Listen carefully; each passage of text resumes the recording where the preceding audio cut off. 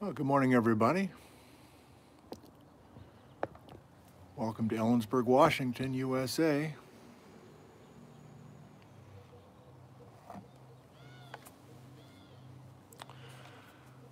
The local time is 8:49 a.m.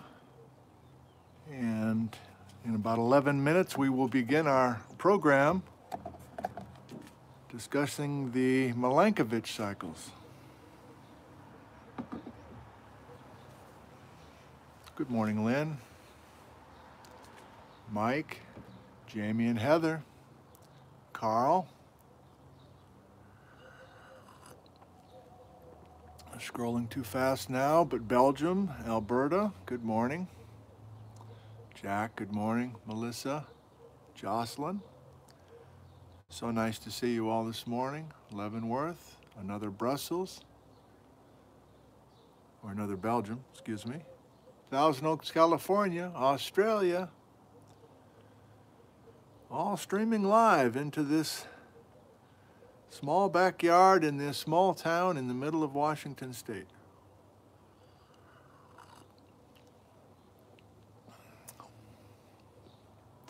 It's terrific to have you all with us this morning. It's a sleepy morning here. Dead calm conditions. Overcast. The sun's trying to break through, which is a surprise because it was awfully dark and gloomy about an hour ago, and I think weather is uh, supposed to be wet all weekend, so I think we'll almost certainly be in the front porch tomorrow morning. Hello, sleepy morning here in Japan. Great. Sleepy mornings are kind of nice. Another Japan, good morning. Got a few walkers out here, no muffler boys yet, but that'll soon change. Oh, thank you. You're commenting on the paint? Yeah, can you?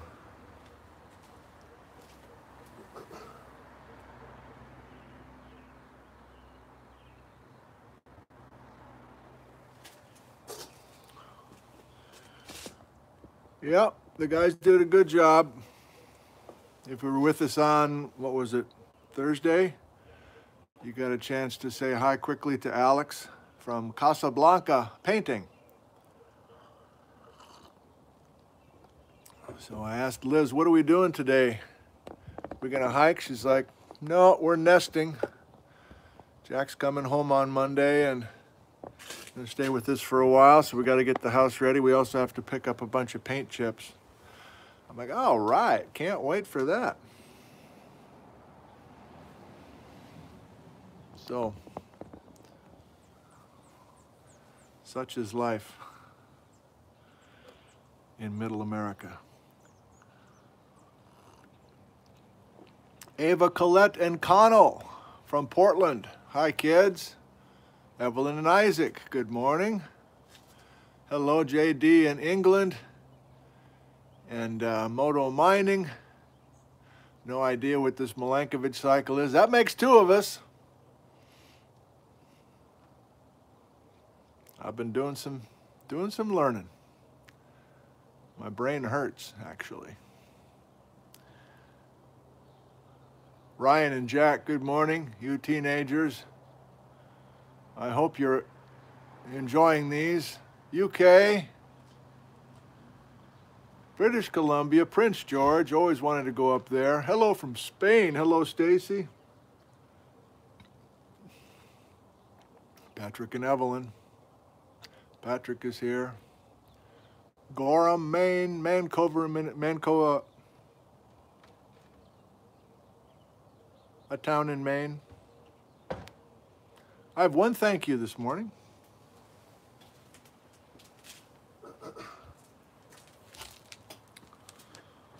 A little uh, thin, uh, wispy little uh, package. And Dan from Everett. Thank you, Dan. Dan sent me an original Grand Coulee of Washington and Dry Falls. This was written by Joe McMacken.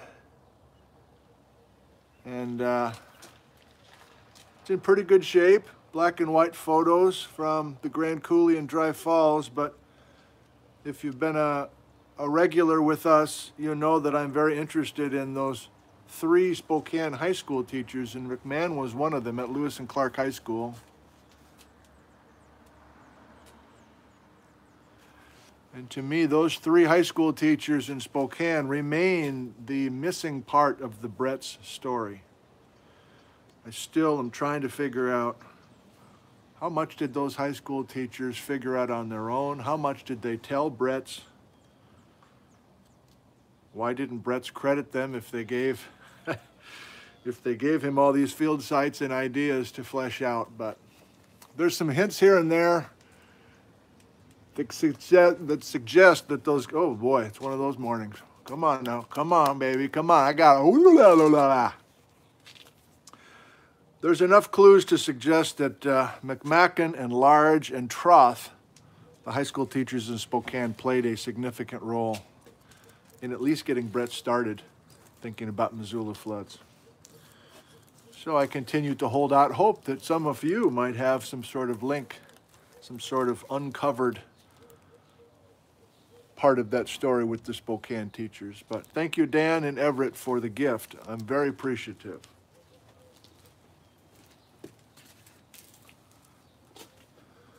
You're tuning in uh, live here on Saturday morning at 9 p.m. I'm going to go do some jumping jacks in just a second. So 9 a.m. we're talking about the Milankovitch cycles. That will start in just a few minutes. And then tomorrow morning you are welcome to come back. 9 a.m. tomorrow morning. The anniversary date is May 18th, of course, but we don't do live streams on Monday, so we're choosing to do it tomorrow morning. And I haven't even begun to think about what we're doing tomorrow. I've been focusing so much on today.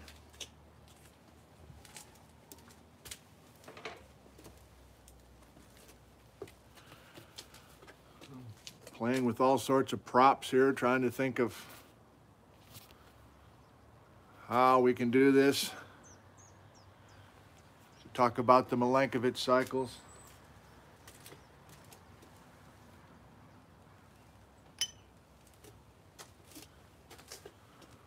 Thought I'd use an apple and send a ratchet in there, but I, I kind of missed kind of off center.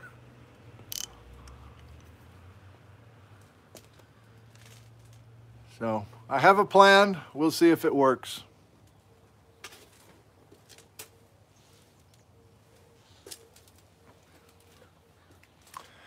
I watched the replay of Thursday's session with sedimentary and metamorphic rocks, and we had major buffering issues, and it remains a mystery. A few of you pointed out that as soon as I really started moving the ladder around dramatically, that's kind of when our buffering began, and, and I agree with you. But I've been pretty aggressive with that ladder position in previous sessions and it didn't seem to be a problem, so whatever. We'll just cross our fingers. I guess I will ask right now, how are we doing this morning uh, with the streaming, with the audio, with the visual? We doing okay?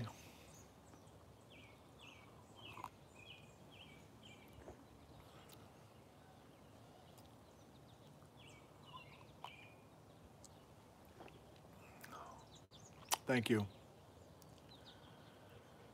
Yeah, I jinxed it the other day. I said we're, we're in good shape. I don't even have to check anymore. And then, of course, we had major problems on Thursday night. But in the replay, there were a few glitches here and there, but it was, I think it was functional. I think you could follow along. I don't think you like missed out on huge chunks of it, but you know, I like to be casual and free and kind of freelancing, but at the same time, I like things to be very strong with technology and then even just kind of the delivery of the material. So I do have certain standards and so when that's kind of skittish, I get a little ticked off. I got two minutes. I need to think quite seriously and concentrate quite carefully this morning. And you'll see why in just a second. So I'm leaving you for two minutes. To clear my head if that's possible, wake my mouth up a little bit more, wake my mouth up a little bit more, wake my mouth up a little bit more. See if we can't make this worthwhile for you this morning. Thanks for joining us.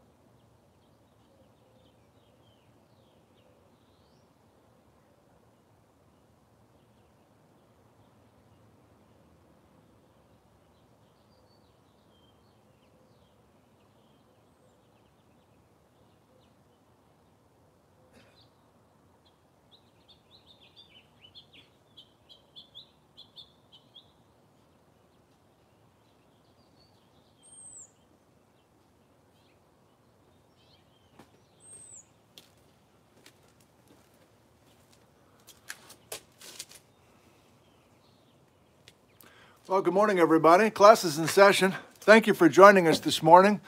We're talking about the Milankovitch cycle this morning, and my name is Nick Zentner. I'm a geology instructor here at the college in Ellensburg, Washington. It's called Central Washington University. We've been out of session since mid-May. As most universities around the world, we've been teaching from home. I've been teaching my classes online. And in addition to that, I've been doing these live streams from my home just for fun, basically, and just to kind of keep things fresh and just to add some stuff to put on my calendar, basically, because I get a little unnerved when there's days and days and days that there isn't something scheduled. I like to stay busy and productive. And so the first, I don't know, 40 of these live streams were pretty easy for me to do. I just decided I'll just, you know, kind of share many of these past programs that I've put on YouTube and have shared with the public and in some cases, I would actually have to rewatch what I did uh, a few years ago and remind myself and take a few notes from my program online, kind of weird, and then uh, kind of dust it off and, uh, and have some live Q&A after we talk about some of those ideas. Well, this morning is very different. This morning is material I have never taught. This morning is content that I never really had clear in my head until about 24 hours ago. And I had a good session yesterday morning, Friday morning, at the kitchen table, uh, using uh, many links that many of you all sent to me. So thank you for your generosity. In addition to some a couple of science papers and a couple of uh, uh astronomy people who helped me just guide me just a little bit. And so you're like, well, okay, I'm new to this guy. I'm watching this program. I've Googled Milankovitch cycles and I got to this guy in the uh, tan shirt. What's up? Is this some sort of expert? And the answer is no. So maybe the charm of this is you're watching a guy who's learning it as you're learning it. And I have some skill as a presenter and some ways to kind of organize and connect some dots that maybe weren't there before. Um, but I am no expert on this topic. This is the third of our climate history lectures, live streams in other words. And a while back we did Ice Age climate, and that's something I've taught forever involving deep sea sediments, and we'll refer to that just a little bit. So that felt pretty natural. I didn't need to, need to prep at all for that. And then the next day, I think it was a Sunday, uh, I had a session on volcanoes and climate. And that was new to me, and I wanted to explore a few of those ideas, and I was all ready for a bunch of you know, angry comments and this is all baloney and that sort of thing. And there, there's a little bit of that, but not a whole lot. This is a decent community we have. uh, but I presented that as kind of a workshop scene. Well, this is kind of that. I'm hoping to learn from you, especially after you hear what I have for you with the Milankovitch cycles. A, I'm interested in what you see as incorrect. Suppose there'd be a few mistakes as I try to deliver what I learned 24 hours ago. But B, I'm looking to uh, expand my knowledge of this story. My last preamble before we get started is that, of course, this whole business of climate history has been hijacked by many different groups. And as a result, there's many different conflicting messages on YouTube, in the media, in, even in science, in scientific papers. And it's hard to know who to believe. And so all I ask uh, if you're ready, if you if the guns are blazing and you're ready to go, this this guy, I'm going to go big thumbs down on Milankovitch cycles existing. Number one, I'm sure of that, and number two, uh, you know, even if it does exist, I'm going to just I'm just going to blow this guy out of the water and say this is this is like nothing compared to sunspots or compared to take your pick. Cows uh, farting in the field, whatever you want. Okay, so everybody seems to have their angle and I am not equipped to have that debate. My goals are simple this morning. Let me show you the plan for this morning. It's a three act play this morning. Who was Milankovitch? When did he live? Why was he working on climate history when he was living? And where was he living? Second, the obvious guts of the plan this morning, and then I have a prop I have two props. I have a lamp, have you noticed? And uh, I have an apple, a different apple that I showed you in the, in the, in the, in the pre-show.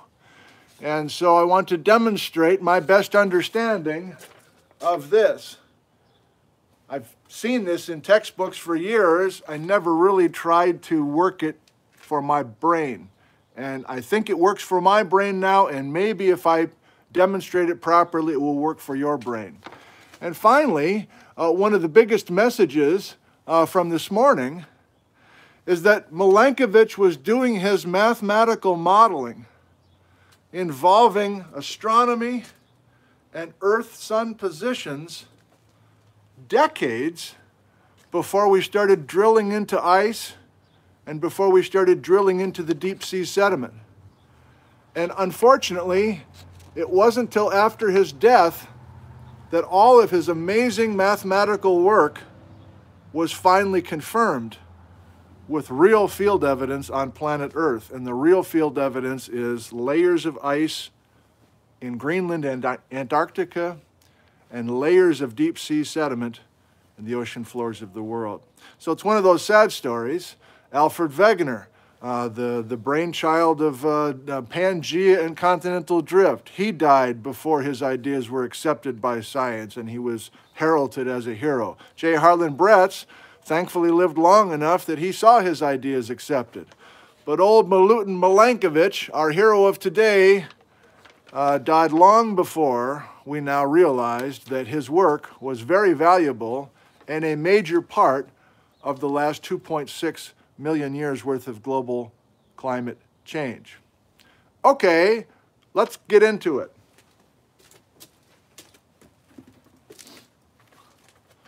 I got all sorts of stuff written out, mainly because I've never given this before, and I, I kind of want to follow my notes, and I've written my notes nice and big so we can all kind of look at the notes together.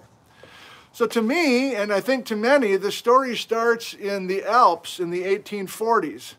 And if you don't know the name Louis Agassiz, he's a hero to many of us in geology. You know, the heroes are the people who can actually think outside the box, who can have a rare gift of not only imagining something, but then having the ability to document it, to actually do the scientific research to, to, to work into their theories. And by the way, just another preamble. Have you ever said to one of your friends, oh, that's just a theory? You know, evolution, that's just a theory. Milankovitch saga, that's just a theory. Just a theory. To me, when you say just a theory, implies that it's just an opinion. like there's no critical thought, like there's no, uh, there's not a lifetime worth of, of penciling out with math and physics. It's just a theory. And what you're really saying, I think, when you say it's just a theory, is that, well, they have their idea, I have my idea, I guess we'll just agree to disagree. Implying that they're equal viewpoints. But we do have experts that have way more math and physics than I do.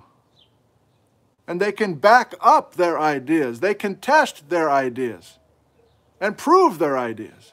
That's a scientific process. All right. So Agassiz had this idea in the Alps that I think uh, glaciers were much larger once upon a time, and that there was something called an ice sheet, and that much of the Alps, he was a Swiss fellow, so much of the Alps were under ice, maybe multiple times. And not just in the Alps, but major portions of the European continent were under ice at multiple times. So in the mid 18 in the mid 1800s, glaciation was in the literature really for the first time. And then we jump ahead to Scotland in the 1880s, and we have a precursor to Milankovitch who was laying the groundwork for the Milankovitch work. We could do a whole program on James Croll, and programs have been done, but let's go ahead and give you the cliff notes.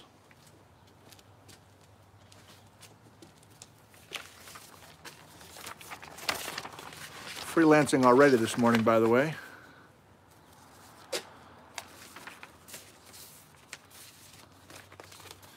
So James Croll, here's his birth and death.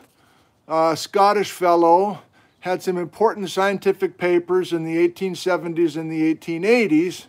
And you've seen the Matt Damon movie, Good Will Hunting. This is truly a guy who for many years was a janitor at Glasgow University, which gave him access to the university library, which allowed himself to be kind of self-taught in many of these matters of Earth-Sun positions. And it was Croll, uh, self taught, who first came up with some ideas in the literature to possibly have a link between ice ages and Earth orbit variability. And his work was mostly ignored by the turn of the century, once we get to 1900. But Milankovitch, who we haven't gotten to yet, credits Croll for kind of laying the groundwork with some of these ideas. And uh, let's go ahead and jump right to the star of the show then, Milutin Milankovitch. Let me give you a similar look at his life. So Croll is, has passed away by 1890 in Scotland. But here's our buddy, Milutin Milankovitch, born in the late 1800s and lives um, through the Cold War, essentially, or much of it. We're over to Serbia, and this is a life's work now for Milankovitch he has a very interesting life. We could spend hours and hours talking about just his life and all of his challenges. But he was a mathematician, first of all, but also worked with astronomy and civil engineering, uh, geophysics, um, all sorts of uh, kind of quantitative aspects uh, to his work. Uh, but he took Croll's ideas and started penciling them out, essentially. And this is before computers and Excel spreadsheets, etc. And so he's truly spending hours upon hours each week working on these calculations, trying to prove that there is some long-term climate change due to Earth orbit variability, very similar to what Kroll was saying. But Milutin had the mathematical ability and the time and the dedication uh, to pencil this out. And what he came up with, these Milankovitch cycles, uh, are the topic right here. And you'll get my version, hopefully the best version for me, from my brain, of what he was able to put together. But this is sad because all those books and papers, and his culminating book was in 1941 at the dawn of World War II, uh, was not accepted, uh, not given much credence, and so now we're to the 1970s. Let me show you my Geology 101 textbook from the early 1980s. I've showed this to you before.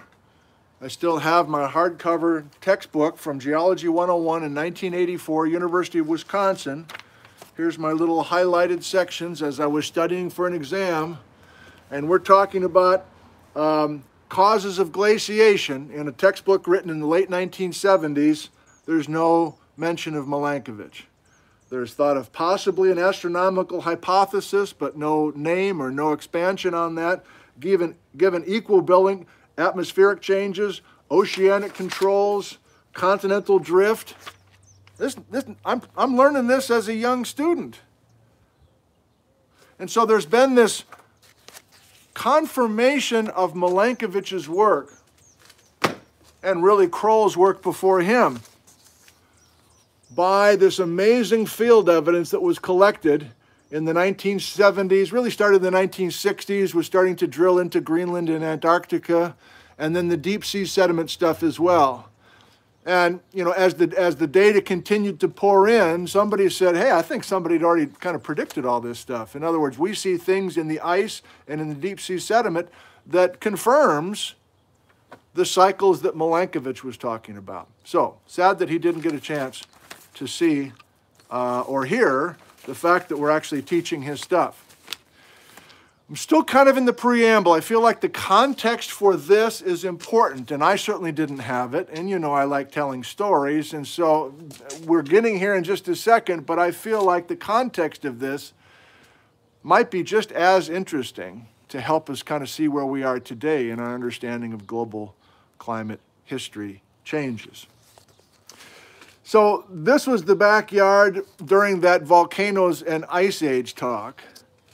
And I just want to remind you that we had a discussion of the most recent 2.6 million years worth of time. And that is where we are today. These squiggles back and forth, these ice uh, advances and retreats, ice advances and retreats, my number was 33 advances and 33 retreats of the ice globally in the last 2.6 million years. That is our topic today. Our topic today is not these much older ice ages, and our topic is not this incredible amount of time during the dinosaurs, for instance, in the Mesozoic era, where we didn't have ice. So we made this point last time. But if you go back to a much longer time frame, there's going to be a lot of squiggly charts here this morning. You knew that if it was going to be a climate talk, right? There's plenty of ways to look at our geologic past, but notice these are in hundreds of millions of years. Hundreds of millions of years, not the last 2.6. So to, to this morning, we're talking about the last 2.6 million years worth of time. I can't emphasize that enough. We get into this, the last 2.6 million years. That's here. But notice that we've had mostly warm times in our geologic past. We do have some much older ice ages of yesteryear, but we know very little about the fine-tuned cycles going on back then. Feeling okay? Feeling like we have a little bit of background? Here's Milutin himself, Milutin Milankovitch. And his mathematical work was really kind of focusing on these two statements that I tried to write down. He was focusing on solar radiation coming in at a high latitude, almost near the Arctic Circle, so 65 degrees north. And he knows that seasonally there's a 25% variability in the solar radiation that's coming in, the solar insolation that's striking the Earth at that particular latitude which is a latitude that seems to have the most, uh, I think that latitude's important, correct me if I'm wrong. By the way, I'm not going to be apologizing all through this and say I'm not sure. You've already heard my message and you know the context of this presentation. So I'm just going to plow right ahead.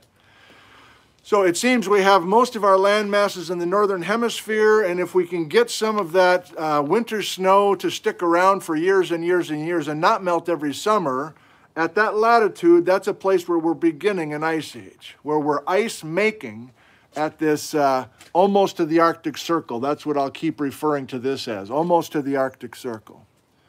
But he's really trying to come up with a mathematical model to explain why you would have this variability over long periods of time to ultimately explain why ice ages begin when they do, or at least why we have a major ice advance, and is there a regularity to that tied to um, these kinds of relationships?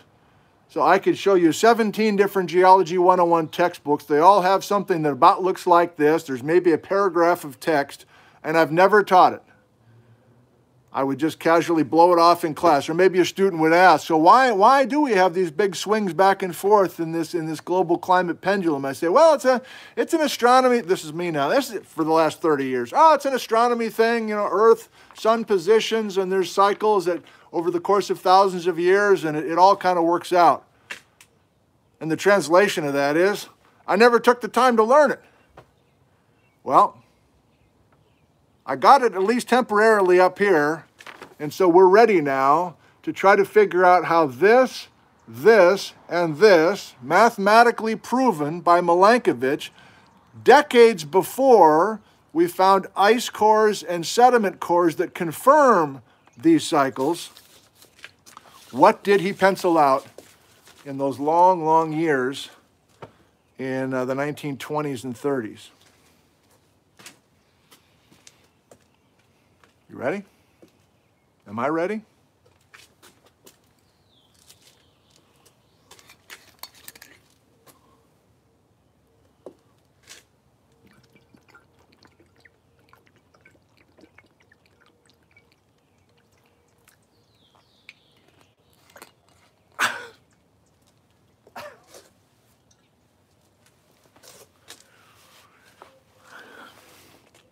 I'm ready. So I'm to tip you down here a little bit. I've got a lamp.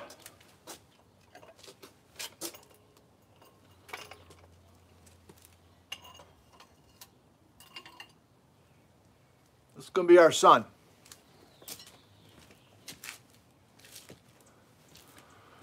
Now, if you're a flat earther, I, I, guess you might as well click off and go on to something else. Uh, if you're not believing that the earth uh, revolves around the sun, I suppose it head elsewhere right now. We're gonna we're gonna go in with that assumption. Okay, the Earth is a spheroid; it revolves around the sun, 365 days to get us around the sun. Okay. This is a little it's a little too low. I need to be able to see the full part of the board here.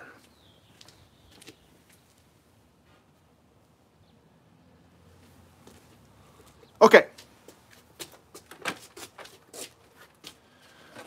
So we've worked with Agassiz setting the stage for glaciation, Croll with coming up with the idea of variability, and now we're talking about this. What did Milutin put together with these cycles?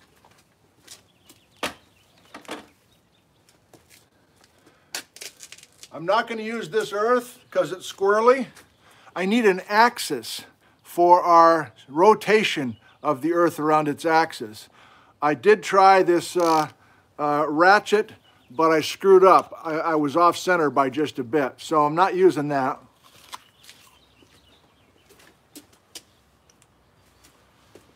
But with the one apple we had left, pressure was on. It's a Washington apple from Wenatchee, Washington. A pink lady from the Stemilt orchard. And I took a chopstick right between the eyes. Okay? So this is our planet, planet Earth, and this is our axis. I'm going to call it a knitting needle, okay? It's easier for me to say knitting needle than uh, chopstick, okay? Knitting needle right through our Earth. And we all know, don't we, that our planet uh, spins around this axis 24 hours a day, 24 hours to get us all the way around. Some of you are watching from the southern hemisphere, some are watching from the northern hemisphere. I notched out the equator for us. I'm already getting kind of a yellowed apple here in the notch. Feeling okay? All right. So here's our sun. Here's our earth. Axis. Now, I think you're aware that our Earth does not have an axis that's vertical. We've never had an axis that's vertical. We have an orbital plane, and we have an Earth that's going to revolve around the sun in this orbital plane. But our axis has always had a tilt to it. And during our short time on the planet, you and I, our tilt is 23.4 degrees. I always have casually said 23 and a half, but technically it's 23.4. Okay, so let's do a little bit of geometry real quick. Okay, so there's zero degrees tilt. Here's 90 degrees tilt. That's not us. 45 degrees tilt. That's not us. It's 23.4 degrees. So like something like that maybe. Okay, 23.4 degrees. Now let me try to hold that. We're not to the cycles yet. I'm just now talking about why we have four seasons every year. Do you know this? Do you know why we have seasons? I'll do it very quickly in case you haven't heard this before. Right now, I am tilting 23.4 degrees towards the sun. And at summer solstice, in other words, next month in June, we're going to have solar rays bombarding the northern hemisphere. The sun's never going to set in the Arctic, right? And that's because our 23.4 degree tilt is right at the sun. And Kathy and everybody down in the southern hemisphere is in wintertime, not as much sun. Okay? Now, for this purpose, can I just focus on North America, please? Can I just focus on the Northern Hemisphere and Washington in particular? It's just the way my brain works. Don't be offended if you're in the Southern Hemisphere right now, okay? So we have summer, Washington, when we're tilting towards the sun. If we maintain that 23.4 degree tilt, but now we're in December, the northern hemisphere is dark. It's dark, and the sun never comes up above the Arctic Circle because we're away from the sun. And Kathy in Australia is dealing with a lot more sun. So, Northern Hemisphere, summer, fall, winter, spring. I'm not talking about Milankovitch yet. I'm simply talking about our four seasons by revolving the earth Takes us 365 days to do this, doesn't it? 365 days to go around the planet and go through our four seasons with our 23.4 degree tilt. Capiche? Okay, let's get to it. These are the three cycles that are referred to as the Milankovitch cycles. They each have an awkward name, obliquity, precession, eccentricity, or eccentricity. Let's talk about the first one. Obliquity simply means tilt. And I just discussed with you that during our time on the planet, our tilt is 23.4 degrees. But Milankovitch was able to prove, using mathematics, that there's a 41,000 year cycle to go from a maximum tilt to a minimum tilt and back to the maximum tilt. It's going to take 41,000 years to do that. Max to max. Now, these are the actual degrees of tilt, and you're like, well, wait a minute, this hard, that's hardly, it's pretty much the same. Like, I can't even show you the difference between 24.5 and 22.1, right? It's all just kind of like this. But this is one of the factors ultimately controlling why we have ice ages. Be patient on seeing the connection to that in just a second. How we doing, by the way? Sometimes when I don't see a bunch of comments, I think we've lost connection. Or the other is everybody's really concentrating and they're not ty typing a bunch of stuff about alcohol and food and everything else. We doing okay? Patrick is okay. Everybody's okay. It's just interesting. Thank you. Okay, let's proceed.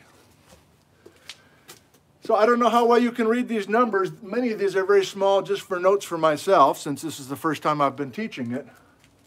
But let me exaggerate for you visually. A maximum tilt, let me get in front of the board so you can see it. A maximum tilt is tilting a little bit more away from zero, and a minimum tilt is tilting a little bit less and getting closer to zero. So it's been proven in astrophysics, Milankovitch and plenty of others, that we do have this variation in our tilt angle. It's not always 23.4. There are times that it's 24.5. That's a little bit more than it is now. And there are times when it's a little bit less than 23.4. We actually have dates. So less than 10,000 years ago, actually about 10,000 years ago, the year 8700 BC was the last time we were at a maximum tilt, 24.5. You see, I have to cheat at my crib notes here, just like you. I can't read here because it's backwards. You can see them better than I. And we're heading for the next minimum tilt, which will be in the year 11,800 AD. Like 10,000 years from now, essentially. So we're kind of in between. Our 23.4 is kind of smack dab between the max and the min. So if I do our seasonal thing, right, I got to do this every year. I got to do this 365 days a year. But somehow, as I'm doing this, I need to, over the course of 41,000 years, 41,000 trips around the sun, I need to do this very tiny tweaking in the angle of the tilt. But again, it's not an idea, it's not just a theory, it's been proven by multiple physicists and astronomers through the ages, especially in the last hundred years. That's obliquity.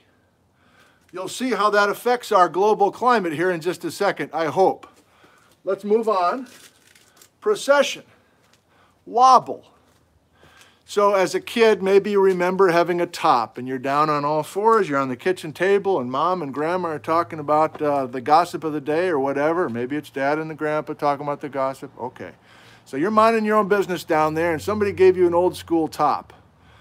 If you're too young to know what a top is, I don't know how to help you. But uh, basically, we in the olden days, us kids, we get that top, we spin that freaking thing. It's a, you know, it's moving fast, and it's like a frozen rope. That thing is just not wobbling at all. Right? What was that skeet thing? I love that one where you like it was like a like a maze. Do you know what I'm talking about? Like it was made out of wood, had all these little windows uh, from room to room, or doors, I guess. And you had this wooden thing. Suppose It's got a name probably. Does anybody know what I'm talking about? And you wrap the string around that wooden thing and you're lined it up with the edge of that. I just thought about this. So I like I'm flooded with nostalgia right now. What do you do?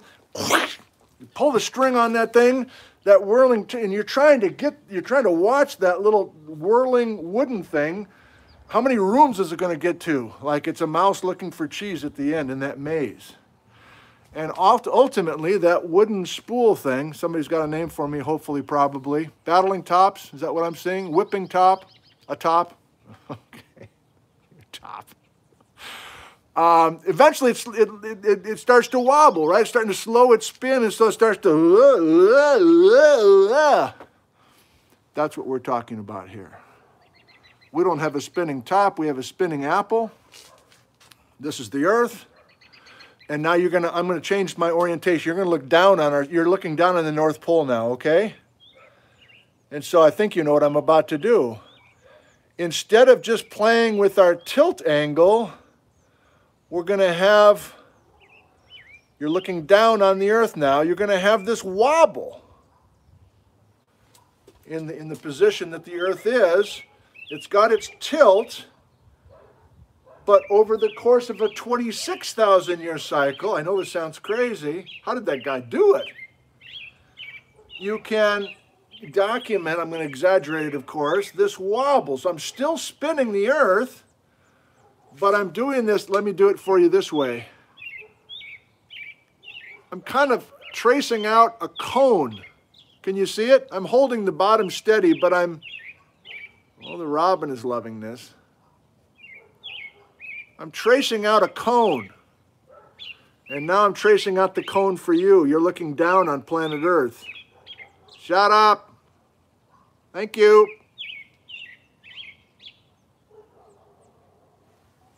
So we can keep track of that wobble by looking at which star in the heavens the North Pole is pointing to. Today it points to Polaris, the North Star.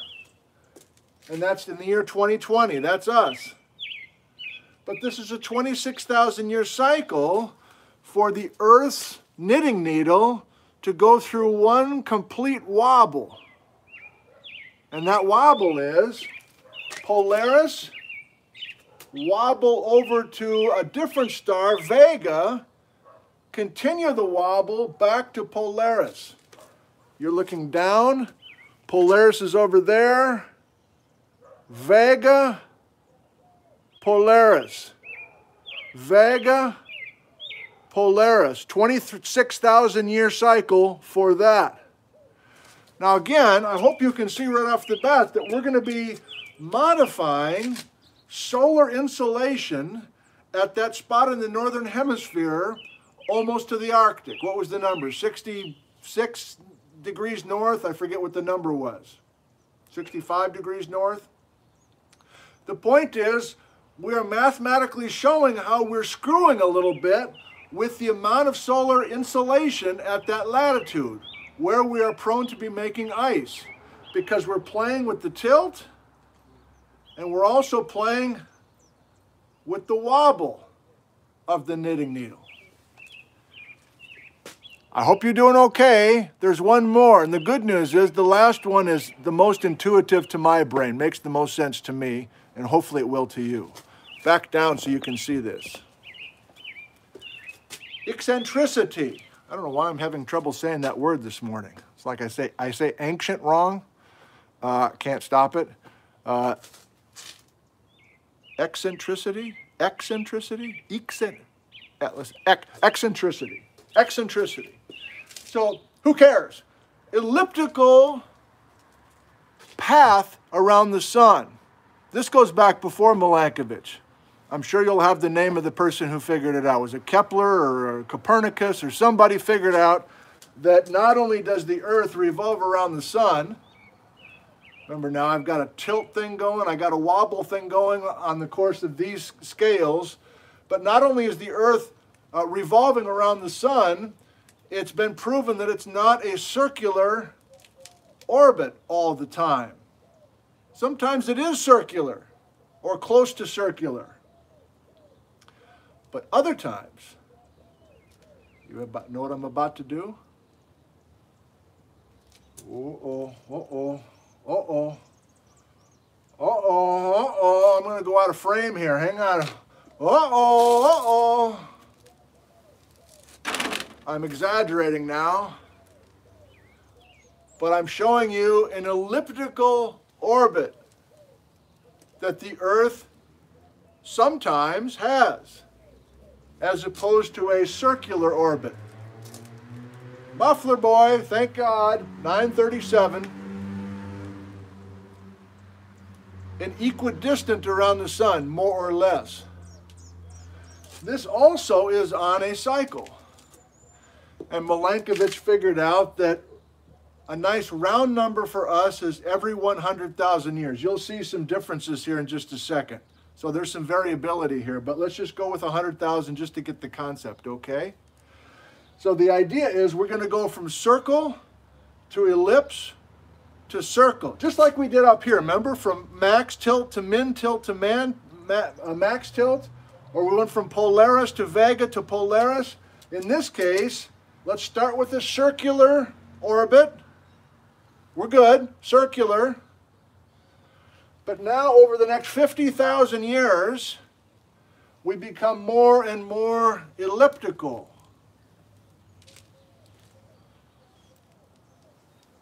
Elliptical. And then another 50,000 years, and we're back to circular again. Another cycle. this is obviously the longest period for a cycle, circle to ellipse to circular over the course of 100,000 years. Now that's a rough number that works well for us, but apparently that varies due to stuff beyond me. So we can be as short a duration or cycle as 95,000 years. We can be as high as 125,000 years. And then there's an even a bigger, major variation on that orbital pattern or orbital cycle every 413,000 years. And you're like, oh, tell me more about that. I'd like to learn more about that. I don't know anything about that. I took Calculus 2 from a blind teaching assistant in Madison, Wisconsin in 1985, and I haven't had calculus or advanced math since then. Best teaching assistant I ever had, by the way. We're all sitting in that room, 25 of us, for the for the you know the, the TA session, separate from the lecture session with the huge lecture hall. We're all kind of nervous. Calc 2, this is going to be really hard. Here comes this guy with the seeing eye dog coming in, like trying to find the, the chalkboard. I'm like, are you kidding me? And this guy is working the board blind. And everything was perfect. And occasionally he'd be writing over stuff he drew, you know, a few minutes ago, and we, you know, somebody would say, "Hey, uh, erase first. And it was just the most beautiful. It gets me choked up just thinking about it. I should figure out what that guy's name is. What an amazing instructor. So my point is, I don't have the math to help you here. But these are the three cycles. Now here's the payoff, and this is what finally clicked for me yesterday morning. And I hope that this is accurate. And if you're, if you're deep into this knowledge and you know that this is incorrect, please let me know.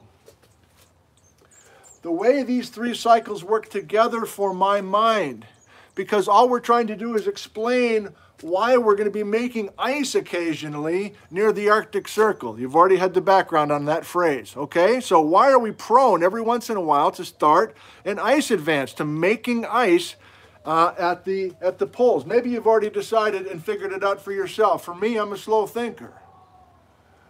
What's going to be more favorable for ice making, max or min? Min Max. Men. Oh, younger than 30 year old person. Right. No gadgets, screaming at each other. You hear them? Talking about uh, what they had for breakfast this morning. Okay, back to the program. So, min, max, min, max. Which one is more favorable to making ice? Min, right? If we max, we're tipping more towards the sun and we're getting more solar radiation. So during our times when we are a minimum tilt every 41,000 years, this thing go min to the next men, to the next men. that's every 40,000 years, 41,000 years, we're going to be a little bit more prone to making ice. And you're like, I don't know, that sounds kind of weak. Well, let's add another factor. Which is more prone to making ice? Polaris or Vega? And you're like, well, I don't know. And this one's not as intuitive to me. But the only way I can make sense of it, uh, I'm really sketchy on this actually. You remember, this is the spinning top. This is the wobbling top. So somehow these are times when our top is wobbling away from the sun. That's all I can do. I, I, I, don't know how to do more than that. Because of course we're not, we're not doing this every year because this is a 46, 26,000 year cycle. Anyway, um, that's my weakest argument, but I think there are times when we're, we're more, uh, the, our, our knitting needle is, is away from the sun more regularly because of the wobble. That's all I can say. And then I hope this one is the most clear to you, that which is more prone to ice making, circle or elliptical? Well, it's got to be elliptical, right? Because during these times that our Earth is revolving so far away from the sun, because it's in a maximum elliptical part of the cycle, doesn't it make sense that would start the next ice advance? And if you recall our discussions of the records we have for multiple advances and retreats of the ice in the last 2.6 million years. At least in the last million years, it's been a major ice advance every 100,000 years. So to my brain, it's the, it's the uh, eccentricity, it's the elliptical nature that is, I don't know if this is inappropriate. Is this a more pronounced cycle than these other two? Let's try to look at some squiggly diagrams and see if we can tease out, before we forget what these, these rings are, maybe we can tease out those differences.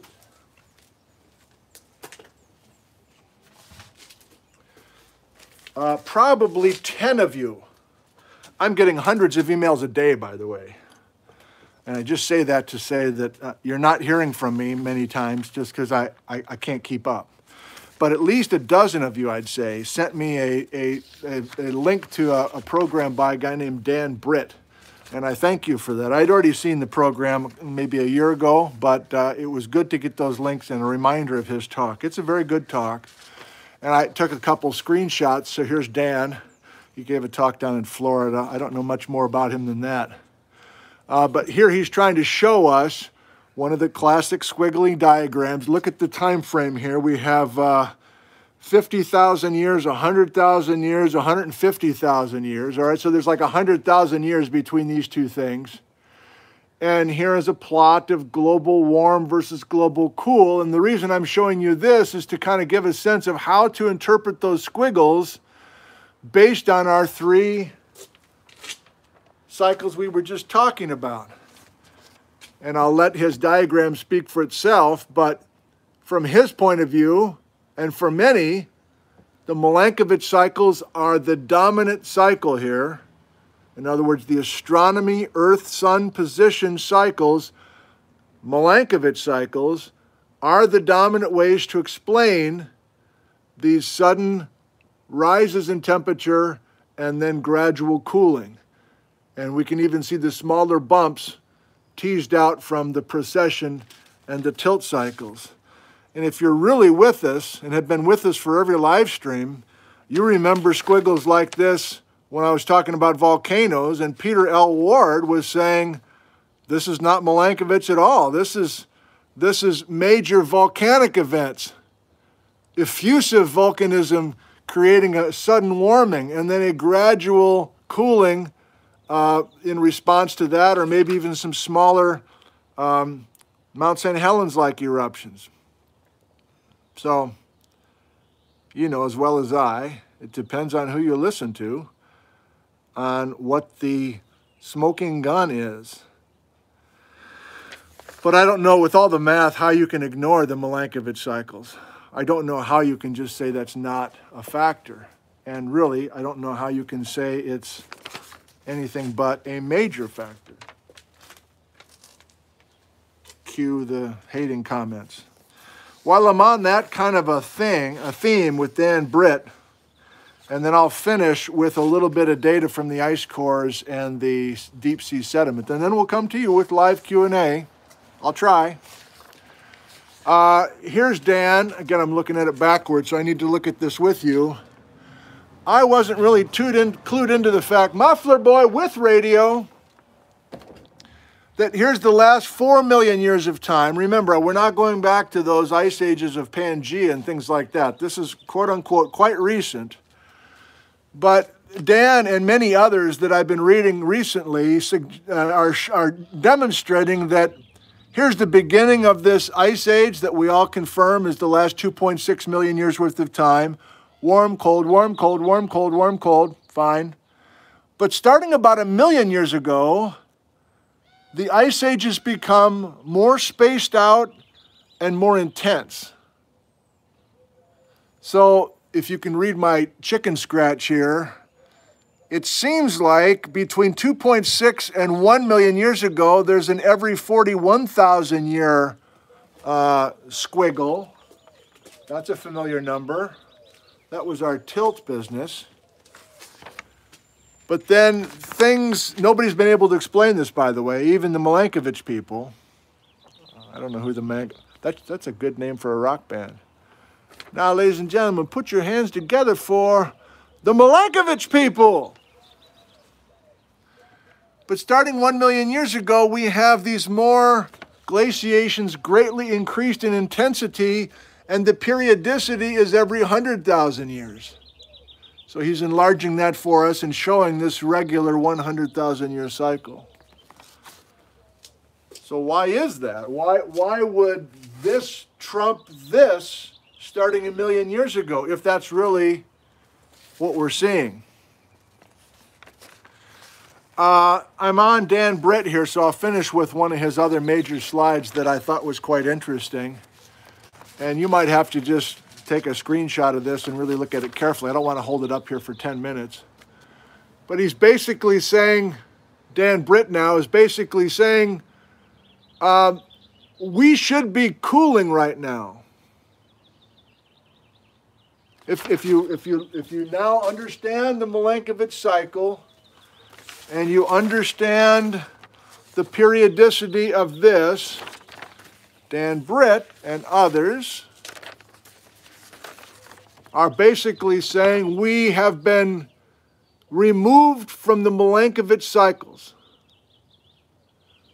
because of what we've been doing in the last few thousand years, and especially the last couple of hundred years. You know what I'm talking about. But this chart, I promise I'll hold it here for a second if I can get the focus to, to work. He's basically looking at some of the cycles that are Milankovitch and looking at the past and the future and his main point is we should be,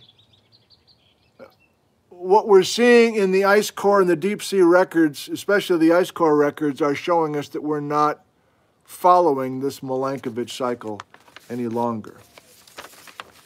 Obviously, a debatable topic among many, even within science. And if you are a hardcore science person and a greenhouse gas person, CO2 person, and you're just waiting for me to give that cell uh, that's not my focus today, and I don't know that data very well. That's kind of next, I think. I think I need to do another one of these. I don't know if I'm going to promise, but I think I should do another one and look more carefully at the ice core records and the trapped gases in those bubbles and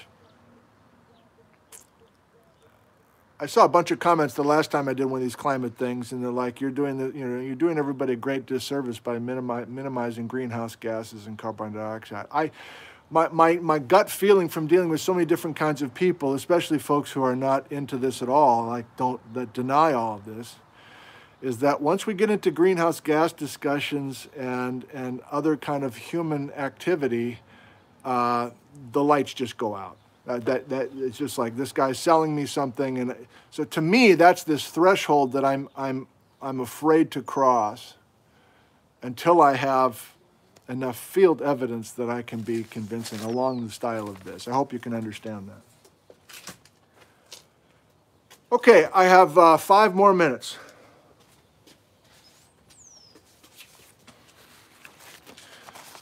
So to finish the story, Milankovitch passes away. A couple more decades go by. Milankovitch's work is all just like whatever, you know, somebody lost to time, whatever. Some somebody in Serbia doing some math, eye roll. And then we start drilling into the ice and we start drilling into the deep sea sediment. And here's just a quick look at some of the work done with the deep sea, I, uh, sorry, the deep sea sediment drilling in the 1970s. So my textbook was not you know, it takes a while before the research is confirmed and then gets into textbooks. So I'm not slamming my textbook author. But these gentlemen were working in the 1970s with deep sea sediment records and being able to look at cycles of oscillating sea surface temperatures and the amount of glacial ice, that was our ice age climate talk. Remember our oxygen 16 variability with the deep sea sediment and microfossils, and you might have to go back to that live stream if you didn't see it. And then John's doing some time series stuff. I don't even know what that means.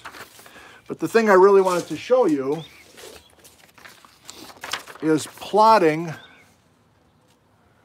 Milankovitch cycles.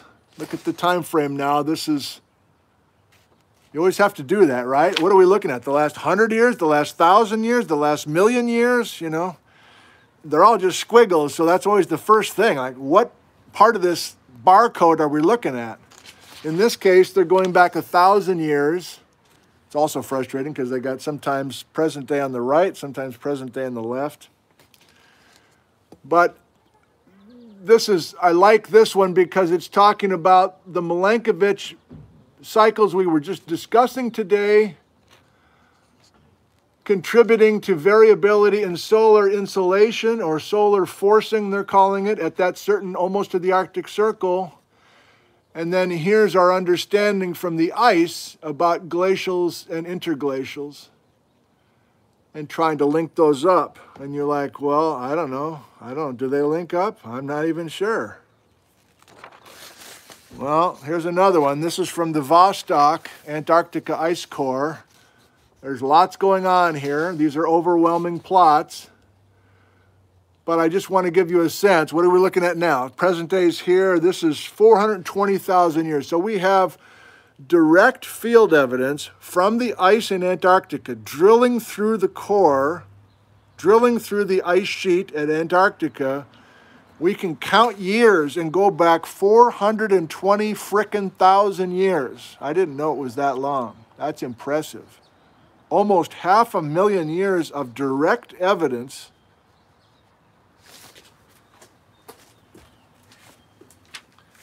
I have to do more with ice cores. I'm such a fan of putting your finger on some field evidence as opposed to invisible whatever. It feels like most of the conspiracy stuff and other kind of alternative facts movements are all based on stuff we, we can't put our finger on.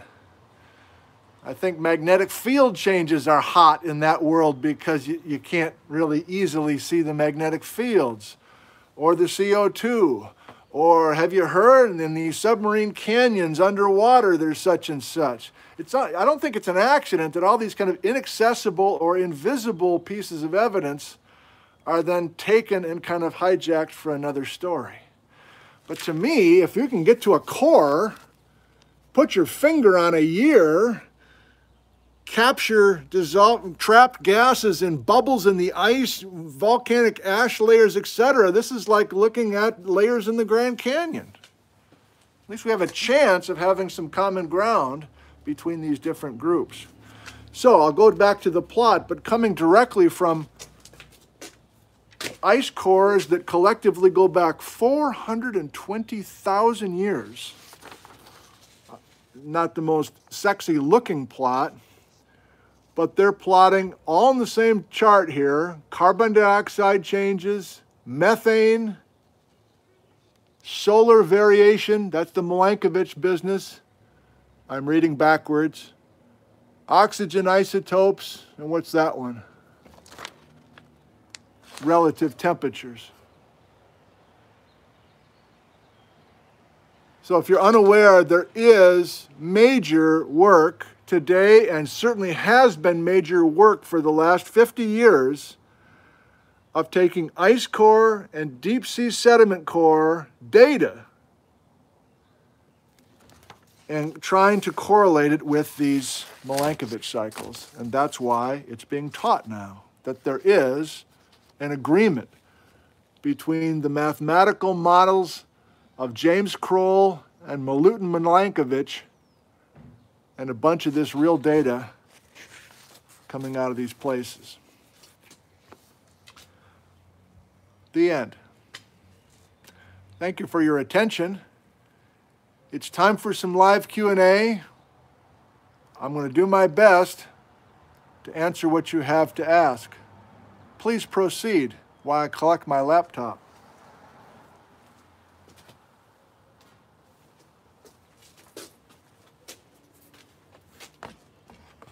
This ought to be good.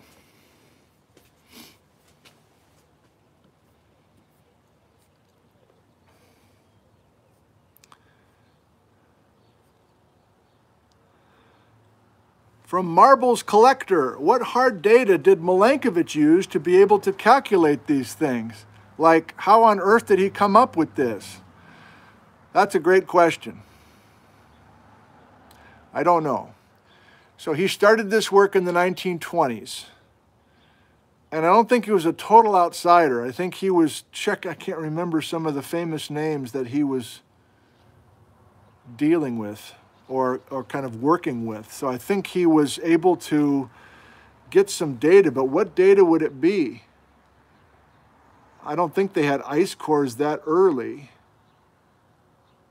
I don't know how he was able to work like again to Dan Britt. Oh, uh, actually, we got a little. Hold on, we got some couple cozy fort things. You want to look at a couple cozy fort things? Uh, it's already 10 o'clock, so I'm going to give you a couple tips. Uh, there's a three minute program on James Croll on YouTube. It's called Roy Thompson on James Croll. I don't want to take the time to, to watch these. I was going to, but that was really in case I kind of had a brain problem. I just said, let's just go to YouTube. Uh, this is an excellent, I think, the best uh, program online to conceptualize the Milankovitch cycle. And, uh, and so I was so pleased with it. it. it. solidified so much for me. And then I went down to the comments and I lost the will to live. Uh, and the future of our planet is, is doomed based on all those comments. Uh, but it's the amazingly beautiful Milankovitch cycles and their profound effect on climate change and seasons. It's a guy in Scotland who it's it's not a particularly uh, sexy uh, tone and it's quite dry, but he's got some animations in there and he lays it out so perfectly that I strongly recommend that. It's like I'm recommending books now, but I'm not. And then I did gain quite a bit from Dan Britt uh, you can read it as well as I can. So I drew heavily from those, especially the last two that I suggested to you. But it's already 10 o'clock, so I, I don't think I want to show them to you. Back to your questions that I can try. So great question, marbles collector. I don't know. We can, record, we can uh, record that and I can just hit replay. Bill, any connection between the migration of the magnetic pole and precession? Well, Bill, I know you're a geologist, uh, so quite often the, the angle is uh, talking about the magnetic field, etc., as the way to solve most of these problems. And I'm always leery of that. Um, but in your case, I mean, if I'm serious about continuing to do these live streams and occasionally trying to do something brand new, like stuff I was meant to look into, it's the magnetic pole stuff. It's the magnetic field stuff. A lot of people are fascinated, whether it's kind of conspiracy angled or just regular. And of course, in Geology 101, we really only talk about the magnetic field, especially the normal versus reverse polarity magnetic field story with evidence for seafloor spreading on the oceans of the world. But I don't know of any connection, Bill, between the migration of magnetic poles and precession. Oh, you're asking just about the wobble. Many of these might just be questions I'll read and just go, yeah, good thought. All plots are sexy, says Marie. Does precession cause ice ages? Well, Melissa, as I understand it, it's a combination of all of these working together. And that never really felt right to me. In other words, I couldn't teach that. Just kind of say, well, they all these cycles kind of converge, or eventually you get three parameters kind of intensifying in effect.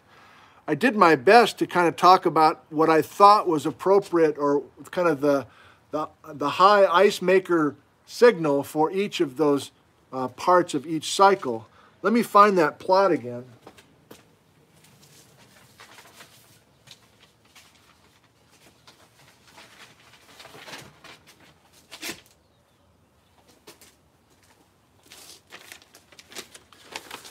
So I, I, have no idea how uh, extreme this is or if this is common, uh, for people to take global climate record over 120,000 years, let's say, and try to show how eccentricity, precession, and tilt are all creating a signal here.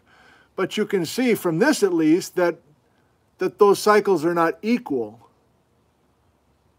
So this is my best way to show how precession is a factor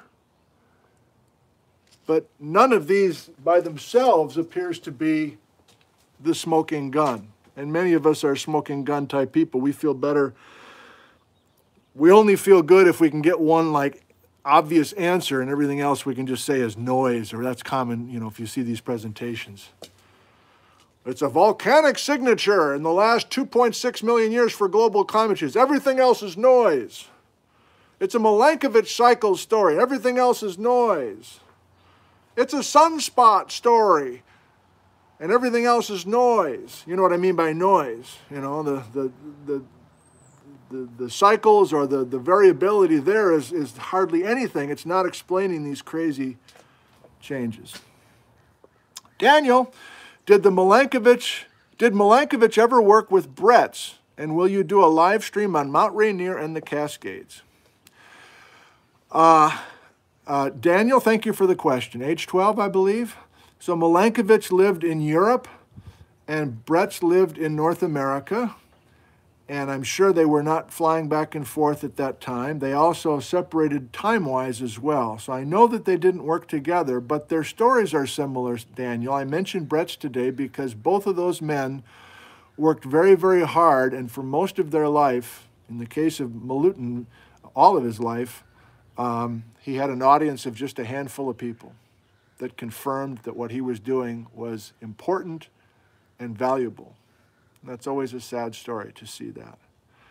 I have talked about Mount Rainier in the past a little bit. I think next week I am going to do a Lahar show, not just with Mount Rainier, but other volcanoes. It seems like people are wanting a show like that. I see a bunch more uppercase here. Hang on.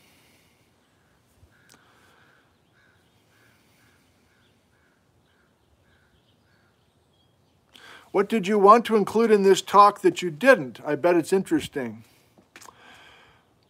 I kind of wanted to include some of where we are now with greenhouse gases and focusing on if the Milankovitch cycle is still controlling us I think another part of this is why don't we have major Milankovitch cycle signals earlier than 2.6 million years ago?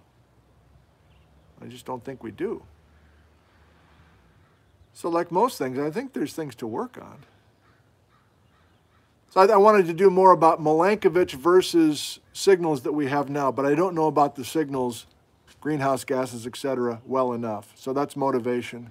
I might ask Susan Kaspari, who I work with, who does ice core work, to, to join us one of these nights and see what she wants to add to this. Maybe she's watching now with her kids. Can effusive events be linked to the Milankovitch cycle? Well, Elaine, that's an interesting thought. So I liked some of what Peter L. Ward was doing, obviously, because I shared it with you. The effect, the global effects of, you know, major flood basalts and the gases that are degassing from the earth during those times and tying those to mass extinctions. Is there a way we can tie some effusive volcanic events? Does it have to be either or between the volcanic story and the Milankovitch story? I don't know if anybody's tried to really link those together. Wouldn't an ice age kill far more creatures than global warming? Asks Bad Hair Decade. Wouldn't an ice age kill far more creatures than global warming? Uh, I, am not a biologist, bad hair, I'm sorry. I don't know how to answer that. I, I would answer it if I had the background. How does the moon affect the cycles? asked Rick. Again, as promised, I think I'm just going to read people's questions. Uh, it's not taught that the moon has much effect on global climate at all. What resources do I use or trust to learn science topics like this? Uh, that's a good question, Maury Longo, especially with this branch of geology, climate variability. Of course, it's very difficult. And I don't know if you've, if you've watched enough of my stuff to know that I'm not really a follower. I, you know, the way I operate, the way I choose to teach and dress, everything, you know, I just, I just, I like being, I kind of like listening to my own voice. And so I'm not naturally one who just follows the fashions that are in science. And I, I, I'm, I'm, I'm here to tell you that there are fashions in science where there's a hot topic and everybody's kind of listening and repeating what they hear. And, and sometimes even within the science world, it feels like you get away from the field evidence or it's like some you know news story that runs its course and it's like whatever happened to pit bulls being dangerous you know? There, there's science equivalents of that too. You, i tried to give you the sense of that here. Nobody's talking about milankovitch in 1975 and now uh, it's a major part of the program. So that's my best way to answer that question. To specifically answer your question I'd known a little bit about Milankovitch from Geology 101 textbooks. I found some videos that I thought were fair and balanced. That's, I can't believe I just used that phrase. Uh, fair and balanced. Um, but I tried to find resources that used the field data, and that's where I'm going next. If I'm serious about doing another one of these with global climate, I want to go to the ice cores, I think exclusively and I want to learn what I can about the ice cores themselves. And I feel like I'm just looking for stuff that I can sink my teeth into that is clearly not pushed on me with a certain angle, whether that's within science or not. And it's hard to find those, those kinds of resources. Jamie and Heather, date under precession Polaris on the chalkboard 200. Uh, I just picked our date, 2020. Uh, I don't know where we are in this cycle. I, I guess we're at Polaris, right? Uh, well, I know we're at Polaris. Ken wants the Cozy Fort. Sorry. We're, we're, these are running too long. I just looked at the running time from some of these in the last two weeks. Like, I got to scale this back. Gavin, age 11, where are we now in the Milankovitch cycle? Well,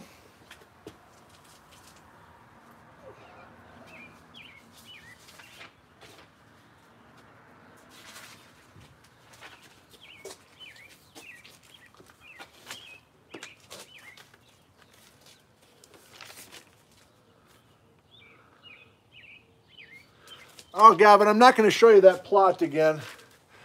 I'll just kind of do it verbally.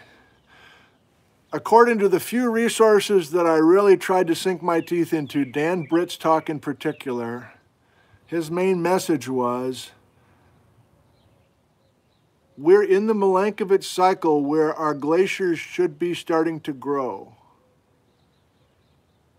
These three things I'm talking about. We should be cooling right now. In other words, if this crazy, this this very, let's just say the last million years, where we've had this hundred thousand year cycle, according to Dan Britt. Now I'm putting too much credence in one guy, basically because I don't have a whole lot of background. Uh, his and many others say that that we should be cooling right now, and yet we're warming quite dramatically. And so stay tuned for another program where I try to look at data that's more recent. That's obviously where the, the most discussion will be. The device nine wonders if Milankovitch had data from glaciers. He may well have. I, I, I don't. I, I don't know. Could the cycles contribute to volcanic eruption activity? Could the cycles contribute to the eruption activity? Cheryl.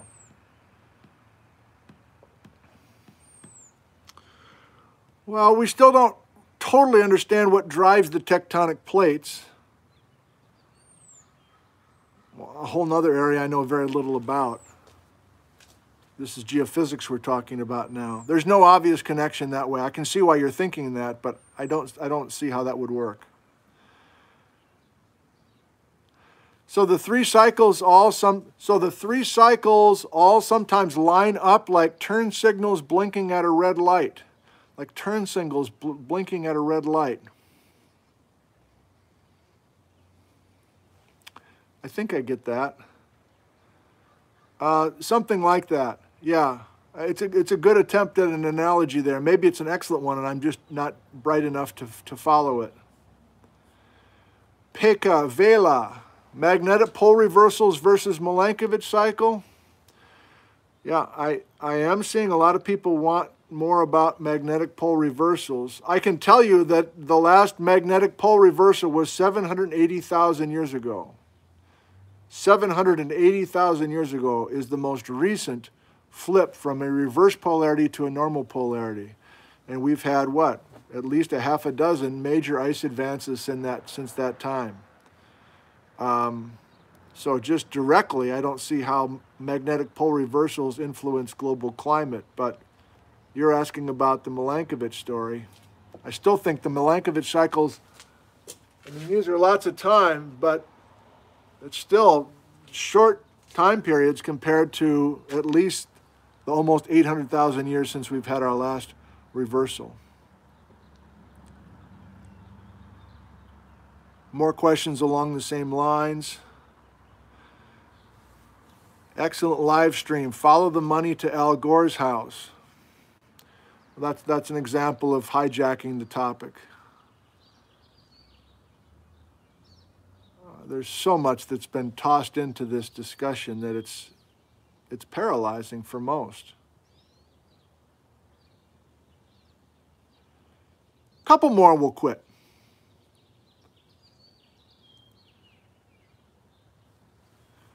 Any thoughts on the variability increasing as the residual heat of the planet bleeds off? I assume that's been looked at somehow, Mike.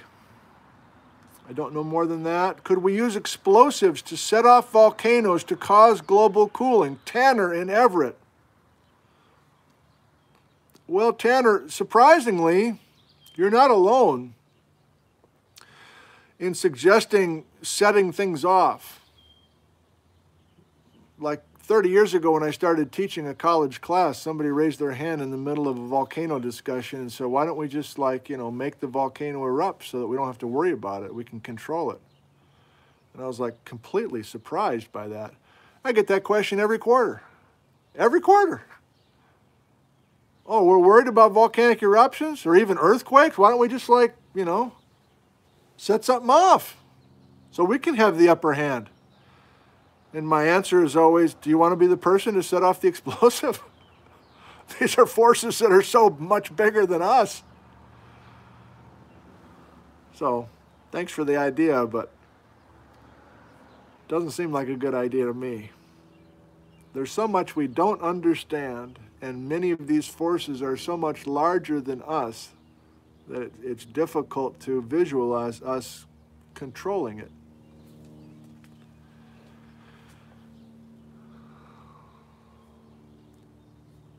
I'm seeing many of the same. I'm sorry if I'm missing your well thought out question. And if there's some specific contributions to this discussion with uh, corrections or additions, I, be, I, look forward very much uh, to reading what you have to say.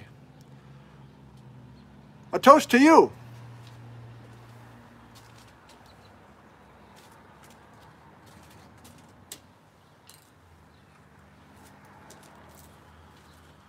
As a little teaser for tomorrow morning at 9 a.m., which is the anniversary weekend of the Mount St. Helens eruption here in Washington State 40 years ago.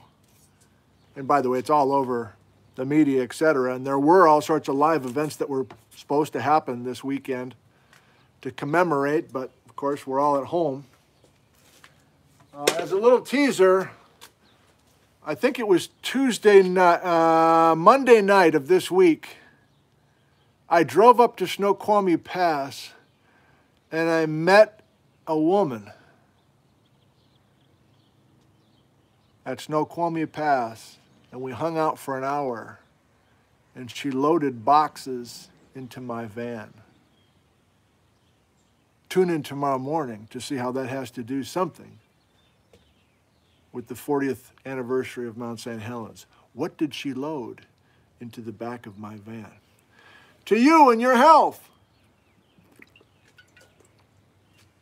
To the health of your parents and your grandparents and your children and your grandchildren, all of your extended family. How about their health? Here's to their health and your health.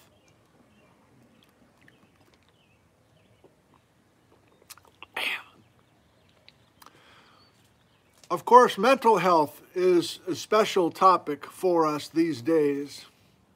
I hope your mental health is hanging in there the best you can. You're getting good exercise and you get some fresh air and you get some sort of a break occasionally from the stresses that you've been experiencing.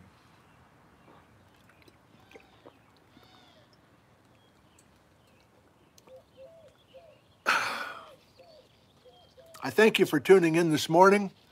I hope you have a pleasant day or a pleasant evening, depending on where you're watching around the world. And maybe we'll see you tomorrow night. And by tomorrow night, I mean tomorrow morning at 9 a.m. Pacific time. Good day from Ellensburg, Washington. I love you. Goodbye.